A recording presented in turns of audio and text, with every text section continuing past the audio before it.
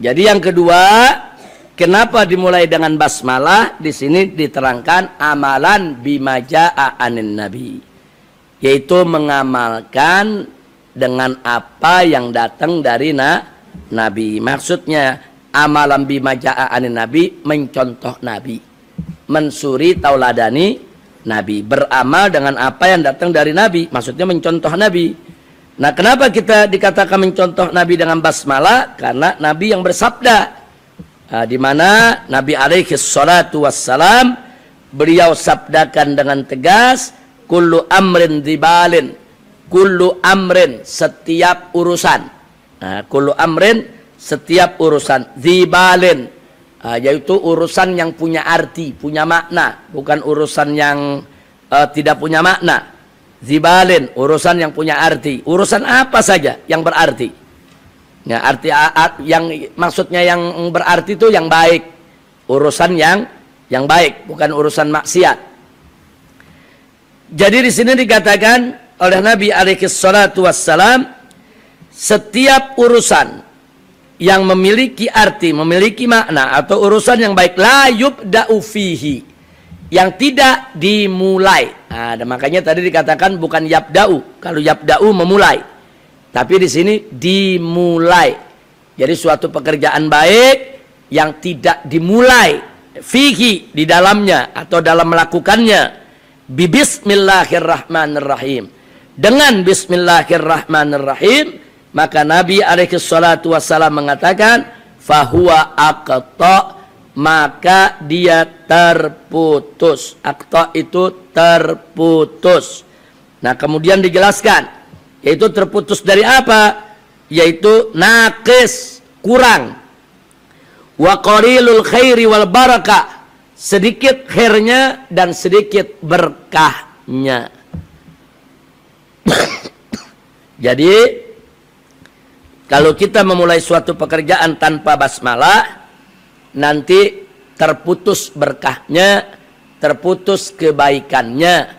Oleh karena itu Nabi selalu uh, memulai segala amalnya dengan basmalah. Sebagaimana Sayyidatuna Aisyah radhiyallahu taala anha pernah meriwayatkan kata Siti Aisyah bahwa kana Nabi sallallahu alaihi wasallam uh, yuhibbu an uh, yabda'u kulla atau kulla bismillah. Yaitu bahwa dulu Nabi selalu suka sekali memulai segala sesuatu dengan bismillah. Pakai baju baca bismillah, mau mandi baca bismillah, mau tidur baca bismillah, mau makan baca bismillah, mau minum baca bismillah, keluar baca bismillah. Mau ngapain aja mau kerja, Nabi nggak pernah lupa bismillah. Nah, jadi artinya bismillah ini bukan hanya anjuran melalui lisan Nabi, tapi juga melalui perbuatan Nabi kita Muhammad Sallallahu Alaihi Wasallam. Nah, jadi udah udah terjawab tuh. Kenapa e, pengarang dalam nazomnya memulai dengan basmalah? Pertama mengikuti Quran sesuai tertibnya.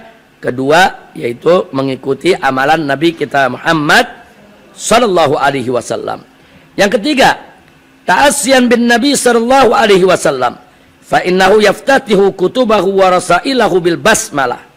Nah, ta'asyan ini juga artinya mengikuti, mensuri tauladan di Nabi, ikutin aja. Sambil mengharap berkahnya. Karena pada faktanya Nabi pernah menulis surat ke raja-raja, ke pimpinan-pimpinan Kobail. Nabi surati semua. Waktu itu yang menjadi penulisnya sahabat.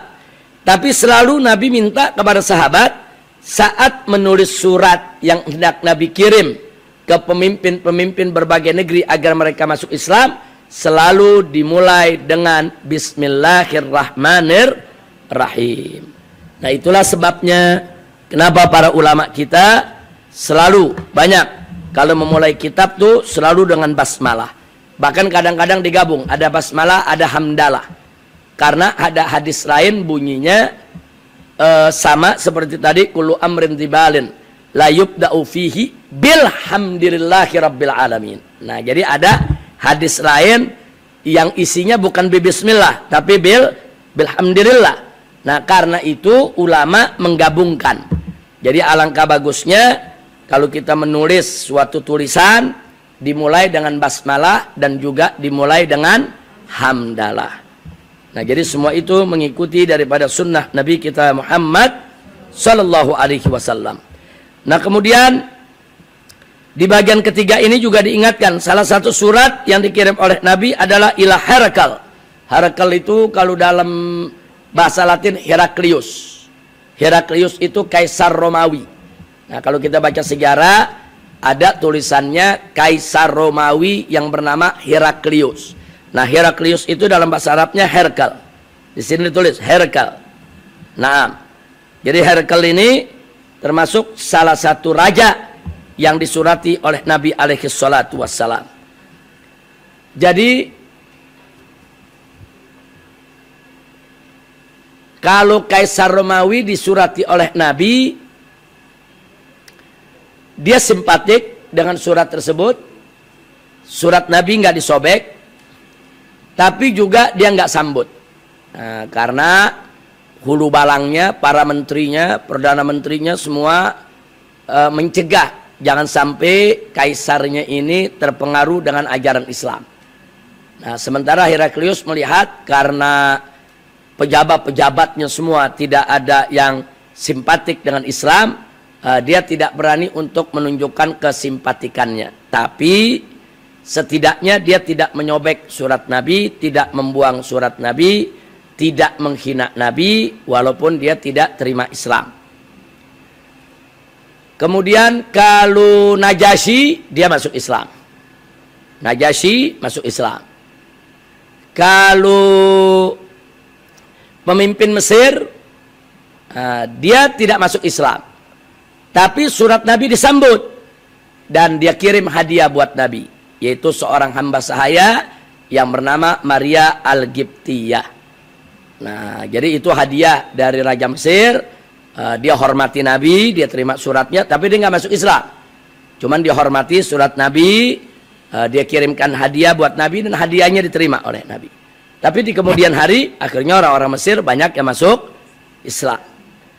Nah, kalau Persia disobek surat Nabi. Dari surat Nabi disobek-sobek oleh Kaisar Persia. Marah Kaisar Persia. Nah kemudian utusan Nabi e, berhasil lolos. Lari dari kejaran Persia. Dan mengabarkan kepada Nabi. Bahwa surat yang dikirim oleh Nabi alaihi salatu wassalam. Disobek oleh Kaisar Persia. Saat itu juga Nabi berdoa. Apa kata Nabi? Mazzakallahu mulkah Eh, Allah akan merobek kekaisarannya. Yang lain enggak? Yang lain enggak ada yang nyobek surat Nabi, enggak ada yang yang macam-macam. Cuman kekaisaran